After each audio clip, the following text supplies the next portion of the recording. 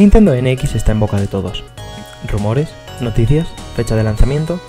Toda la prensa está volcada en la nueva consola de la gran N, ya que esta siempre suelen traer consigo una revolución en la forma de entender los videojuegos, sorprendiendo por algún lado. Sin embargo, la gran víctima de esta estrategia para centrar las miradas en la compañía y su futuro hardware se mantiene en el más absoluto silencio, pasando desapercibida para el resto de los mortales. ¿Quién es esta? Creo que a estas alturas ya se presupone lo suficiente.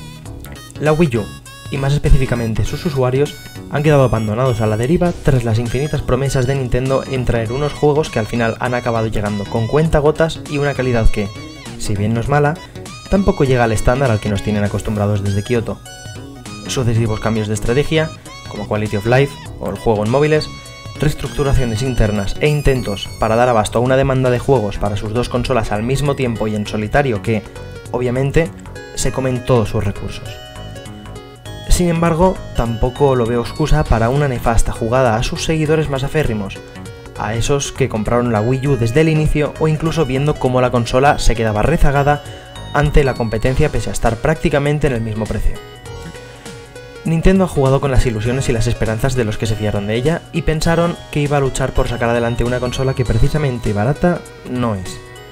Ha jugado con la gente a la que prometió un Zelda exclusivo de Wii U, repitiendo la jugada de Twilight Princess en GameCube con la diferencia de que GameCube ya contaba con Wind Waker y que Twilight Princess pondría la brocha de oro a una consola ejemplar pese a las adversidades que tuvo.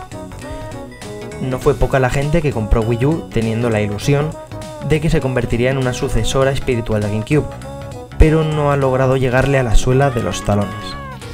La calidad técnica, artística y cantidad de juegos excelentes con los que contó GameCube no se puede comparar a los puntuales juegos estrella que se han visto en Wii U. Vale, tampoco seamos hipócritas, no se puede comparar la cantidad de tiempo y recursos que se necesitan para hacer un juego de una plataforma y de la otra, pero aquí entra en juego la relación que Nintendo ha mantenido con las third party, en este momento más necesarios que nunca. No lo han sabido ver, confiando en ellos mismos para sacar adelante su consola, como las dos generaciones anteriores, y están pagando las consecuencias. Si Nintendo is Doom, como rezan los internets, se lo ha buscado ella misma. Ella ha puesto sus castañas en el fuego y ella ha de quitárselas. Pero una cosa es segura, jugando así con sus fans y tomando pésimas decisiones empresariales como las que ha tomado en años recientes, os aseguro que no dejará de estarlo.